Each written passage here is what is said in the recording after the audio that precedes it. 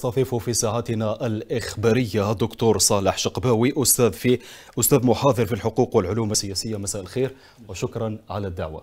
شكرا. مساء الخير. أهلا.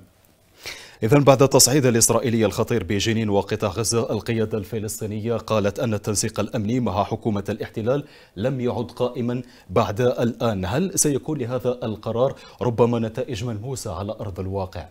نعم يعني أعتقد أن وصول اليمين الصهيوني المتطرف إلى قيادة إسرائيل وتحويلها من دولة سياسية إلى دولة دينية يفرض على الأمتين العربية والإسلامية الاستعداد لمرحلة عصيبة وصعبة سيعيشها الشعب الفلسطيني وستعيشها المقدسات الدينية الفلسطينية والإسلامية والعربية.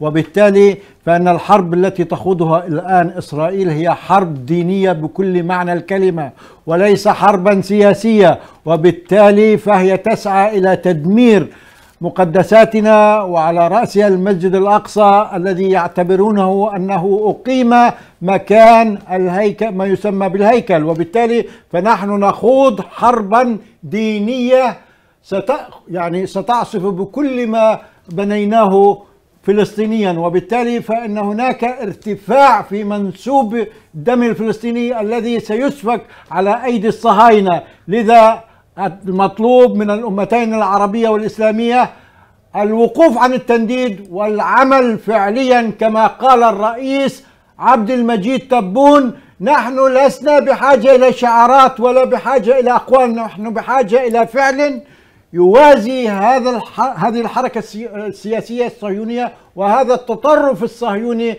المتغول ضد الشعب الفلسطيني. صحيح أننا كشعب فلسطيني نمثل رأس حربة متقدمة للدفاع عن حقوقنا الوطنية الفلسطينية ولكن على الأمتين العربية والإسلامية أن تساند هذا الصمود وأن تقف في وجه هذا التغول وهذا التطرف الصهيوني الذي يقوده بن غفير ويقوده سموذريتش. وبالتالي فنحن أمام مرحلة صعبة جدا خاصة وأن الصهاينة يدركون أن ربيعهم العبري انهزم فوق صخور الجزائر وفوق نهوض الجزائر التي تصدت لهذا العدوان الصهيوني من المغرب العربي طيب في ظل الصمت الدولي المريب لما يحدث في الأراضي الفلسطينية المحتلة الاحتلال في حالة تأهب لشن المزيد من الاعتداءات الإرهابية هل تتوقع ربما مزيد من التصعيد الآن من طرف الاحتلال؟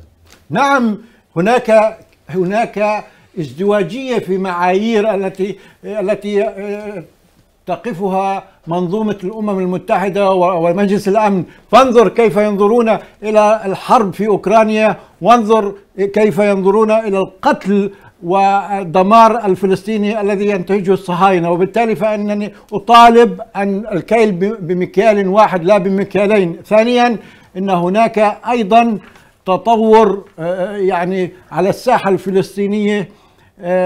هناك تغول صهيوني وهناك ان ان ان انفجار في العقل الصهيوني الذي يريد أن يطرد الفلسطينيين وأن يدمر مقدساتهم وأن يزيل الوجود الفلسطيني اعتمادا على النصوص التوراتية والنصوص التلمودية التي تقول أن الفلسطيني هو محتل وأن وجوده وجود عابر ويجب إزالته. لذلك يجب المطلوب أن ندعم صمود هذا الشعب وبقاء هذا الشعب وانتصار هذا الشعب. وأنا أطمئن أيضا وأنا متفائل أن هذا التغول الصهيوني وهذا يعني الاندفاع الصهيوني نحو مزيدا من القتل للفلسطينيين هو في ربع ساعة الأخيرة التي سينتصر فيها ستنتصر فيها العين على الجلاد والمخرج على السيف وبالتالي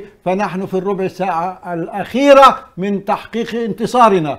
وأنا أطالب أيضا عبر قناتكم السلطة الوطنية الفلسطينية وعلى رأس الرئيس أبو مازن أن يدافع عن شعبه وأن يرسل فعلا قوات الأمن الفلسطينية كما فعل الرئيس الشهيد ياسر عرفات أن تدافع أربعين ألف شرطي يدافع عن هذا الوجود وعن هذا الشعب وعن هذه المقدسات وبالتالي ليس المطلوب فقط وقف التنسيق الأمني يجب أن نستعد لمرحلة خوض معركة التحرير وخوض معركة الصمود وخوض معركة إنبلاج الأمل الفلسطيني.